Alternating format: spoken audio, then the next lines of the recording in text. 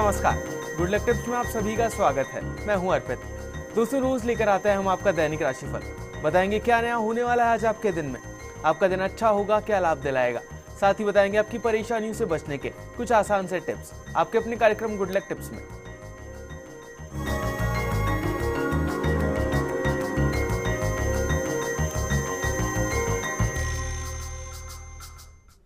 दोस्तों, क्या करना है आपको आज के दिन को सफल बनाने के लिए? साथ ही क्या कहता है? आज का आपका राशिफल। बताने के लिए हमारे साथ हमारे स्टूडियो में मौजूद हैं जाने माने ज्योतिष आचार्य पंडित मुकेश शास्त्री जी।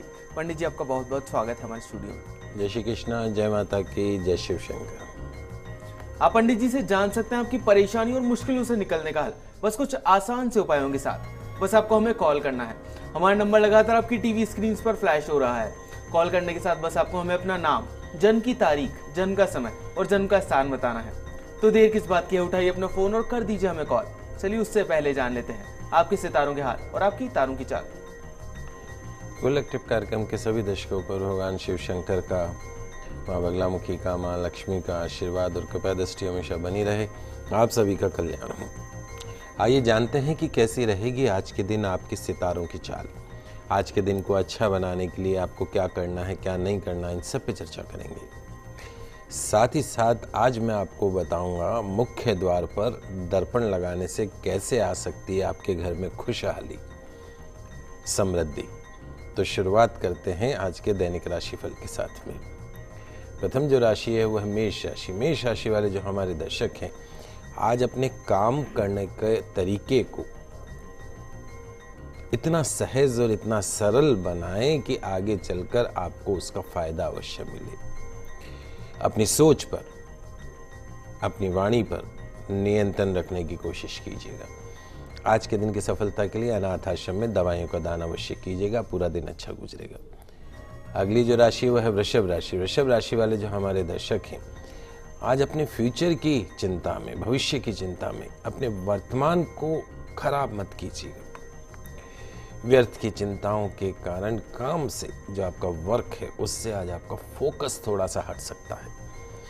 आज के दिन की सफलता के लिए गणेश जी महाराज को दुर्वा चढ़ाकर दिन की शुरुआत कीजिएगा, निश्चित तौर पर दिन अच्छा गुजरेगा।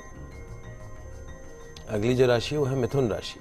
मिथुन राशि वाले जो हमारे दर्शक हैं, आज जो आपके सामने हैं, और जो यथार्थ है, जो सत्य है, उसके ऊपर ध्यान दीजिएगा।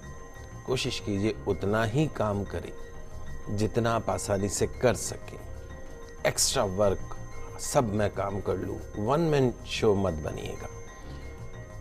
समस्याओं से प्रॉब्लम से निजात पाने के लिए सॉल्यूशंस के लिए निश्चित तौर पे आपको अपने एफर्ट्स तो करने ही होंगे, और उन एफर्ट्स से आपको सफलता भी प्राप्त होगी। आज के दिन की सफलता के लिए सरसों के तेल का दीपक जलाकर बजरंग बाण का पाठ अवश्य कीजिएगा पूरा दिन अच्छा गुजरेगा।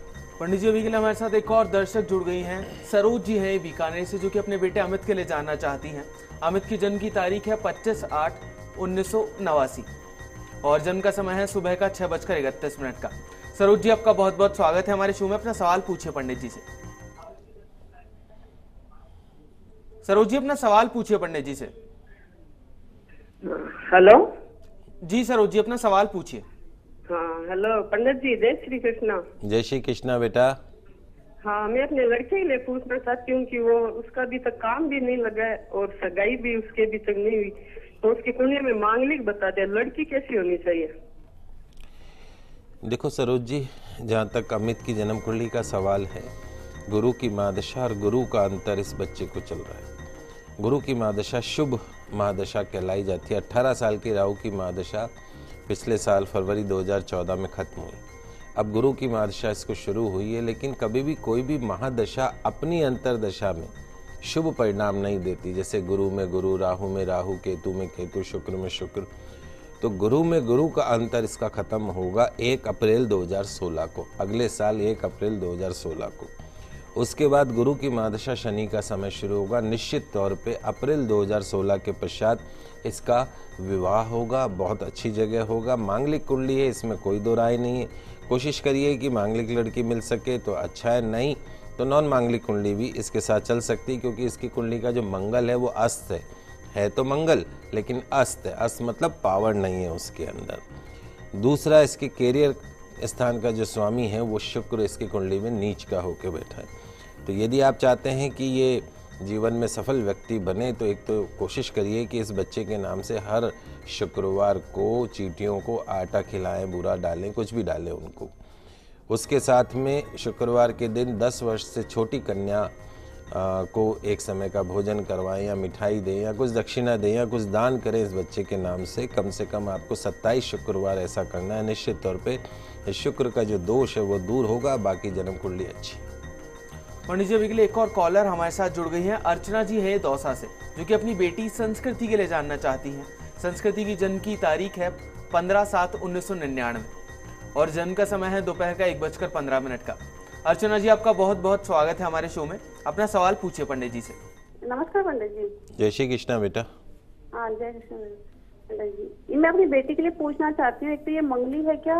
और ये इसका आगे का भविष्य क्या होगा? ये बारहवीं में पढ़ रही है इस टाइम तो आगे क्या कैरियर बनेगा? देखो, अर्चना पहली चीज़ तो ये है कि संस्कृति की जन्म कुंडली में एक तो गणमूल नक्षत्र का इसका जन्म है, अश्लेषा नक्षत्र का जन्म है। पैदा होते ही आपने उसकी पूजा करवा ली है, सत्ताईस दिन में जो गणमूल नक्षत्र की पूजा होती है तो तो अति उत्तम है। और नहीं करवाई है तो आप उस पूजा को अवश्य करवाइएगा। दूसरा, जो है वो इसकी जन्म कुंडली वैसे बहुत अच्छी है सूर्य बुद्ध बुद्ध आदित्य योग इस बच्चे की जन्म कुंडली में है। मांगलिक है नो डाउट मंगल भी है, शनि भी है। लेकिन इस बच्चे की जन्म कुंडली में एक समस्या ये है कि इसके कुंडली में शनि जो है वो नीच का होके बैठा है। शनि अगर नीच का हो जाता है, वो भी सप्तम भाव में तो दाम्पत्य सुख में कमी करा देता है, मन के सुख में कमी करा देता है।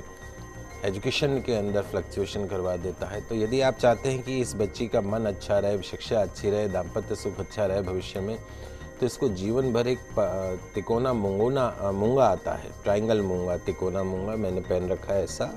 ऐसा तिकोना मूँगा, सवा छः रत्ती का चांदी में बनवा के इस बच्ची के सीधे हाथ के अनामिका उंगली में मंगलवार के दिन धरवा धारण करवा दीजिएगा। ध्यान रखिएगा, सवा छः रत्ती से कम का नहीं होना चाहिए और इस बच्ची की आदत में डालिए कि इसको हनुमान चालीसा का पाठ नियमित रूप से करना है, सूर्य भगवान को जल नियमित रूप से चढ़ाना है, तुलसी जी के दीपक अवश्य जलाना है। बाकी इसकी जन्म कुंडली अच्छी और कोई विशेष समस्या नहीं अगर आप भी जानना चाहते हैं अर्चना जी की तरह अपनी समस्याओं का समाधान पंडित जी से तो आप भी हमें कॉल कर सकते हैं। हमारा नंबर लगातार आपकी टीवी स्क्रीन पर फ्लैश हो रहा है। पंडित जी, अभी के लिए मोनिका जी भी जुड़ गई हैं हमारे साथ किशनगढ़ से, जो कि अपनी बहन प्रियंका के लिए जानना चाहती हैं। प्रियंका की जन्म की तारीख है तेईस पाँच उन्नीस सौ पचानवे। और जन्म का समय है दोपहर का तीन बजे का। मोनिका जी आपका बहुत बहुत स्वागत है हमारे शो में। अपना सवाल पूछिए पंडित जी से। पंडित जी जय श्री कृष्णा। जय श्री कृष्णा बेटा। पंडित जी मुझे है ना मेरी बहन उसके बारे में पूछना है। अभी उसने बीए ग्रेजुएशन कंप्लीट किया है वो आगे बीएड संस्कृत से करना चाह रही है।